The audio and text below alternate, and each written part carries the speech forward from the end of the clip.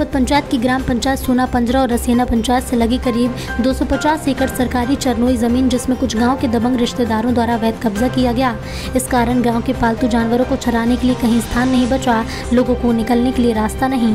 अवैध अतिक्रमण की शिकायत सर, सचिव सरपंच ग्रामीणों द्वारा तहसीलदार और एसडीएम को कई बार की जा चुकी थी। सभी अतिक्रमणकारियों को प्रशासन द्वारा करीब चार साल से नोटिस जारी कर जुर्माना वसूला गया लेकिन सरकारी ज़मीन से अतिक्रमण नहीं हट पाया। न प्रशासन द्वारा कोई सख्त कार्रवाई की गई। तिगड्डा पर दिन गुरुवार को सुबह करीब सात बजे प्रशासन के खिलाफ चक्का जाम कर धरना प्रदर्शन किया गया। तब जाकर करीब दस बजे अधिकारी नायब तहसीलदार महाराजपुर केसली पुलिस बल के साथ मौके पर पहुँचे जहाँ ग्रामीणों से बात कर समझाइश दी और अतिक्रमण हटाकर खड़ी फ़सल को मवेशियों से चराया गया जिसके बाद ग्रामीणों द्वारा चक्का जाम बंद किया गया।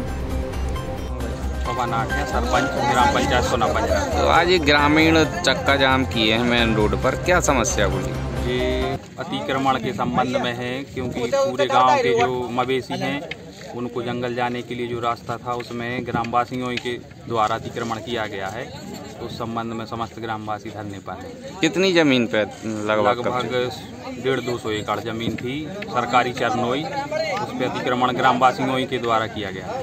तो ये चक्का जाम कब तक चलेगा? क्या जब तक हमारी मांग पूरी नहीं होती और कोई जिम्मेदार अधिकारी आके सुनता नहीं है जब तक हम लोग यहीं इसी तरह बैठे रहेंगे। नाम है आपका? भगवत कुटवार। आप कुटवार हो यहाँ के ग्राम के? जी ग्राम कुटवार। ये चक्का जाम है मेन रोड पर क्या समस्या को लेकर है? सर ये है कि पूरी जगह झापाकुर्रू की पूरी कैद हो गई। मवेशी को जगह चाहिए रंजा किसने किया इस कब्जा? सर गाँव के लोगों ने करी है। आप लोगों ने कहाँ कहाँ शिकायत की? सर विधायक जी गए थे। वो तेईस हज़ार साफ़ गए थे। विधायक जी ने क्या आश्वासन दिया? सब लेने में ली थी। अब आगे आप क्या चाहते हैं धरने के माध्यम से? क्या हम चाहते हैं कि जैसे जगह मिले ठीक है ना चक्का जाम। हम करें हम चक्का जाम करें ना रहे हैं। हमारा नाम दियाराम है। आप महाराजपुर सहजपुर रोड पर चक्का जाम किए हैं किस वजह से किए इस वजह से किए हैं सर के हम लोग की गौ गौ माता है जो हम लोगों की चरवन है गाँव के विकास के लिए जो विकास के लाने जगह आती बस तोड़ लई कितनी ज़मीन वो कम से कम 300 एकड़ ज़मीन है। छापा करूँ छापा कुर्रू किसने कब्जा किया? अरे गाँव के आदमी हैं कुछ लोग।